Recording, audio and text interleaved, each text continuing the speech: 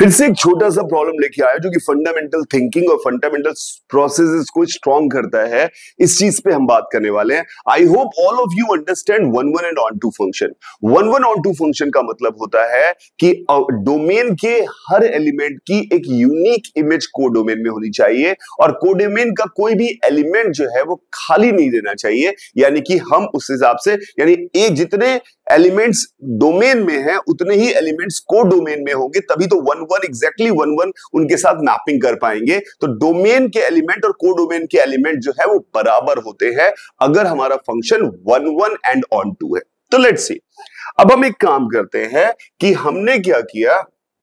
एक function define किया।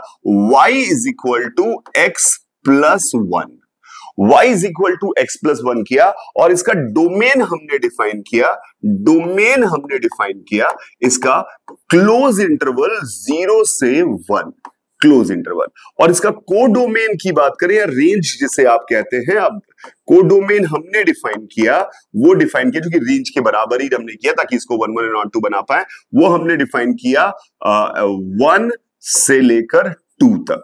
ठीक है? ये हमने डिफाइन किया.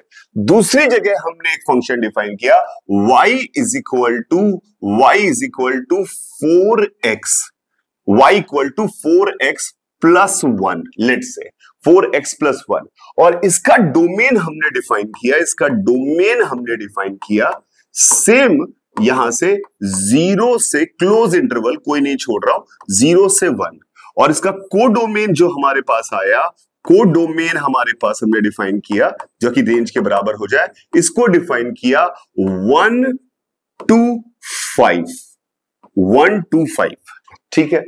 अब आपको दिख रहा है कि y equal to x plus one में x की किसी भी वैल्यू के लिए ज़ीरो से वन उठाएँगे तो y की वैल्यू वन से टू में यूनिकली डिफाइंड होगी। इसका मतलब है कि ये one one and onto function है इस डोमेन और इस कोडोमेन के लिए।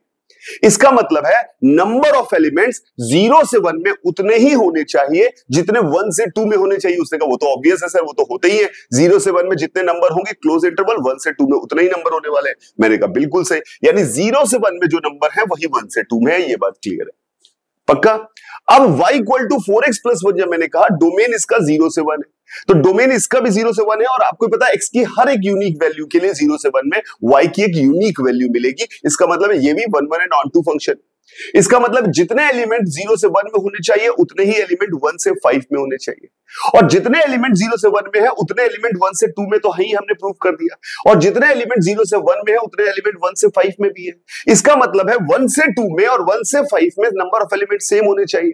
यानी वन से टू में वन से टू में और वन से फाइव में नंबर ऑफ़ एलिमेंट बराबर होने चाहिए। अगर वन से टू और वन से फाइव में नंबर ऑफ़ एलिमेंट बराबर होंगे तो वन से फाइव क्या चीज़ है? वन से टू और टू से फाइव।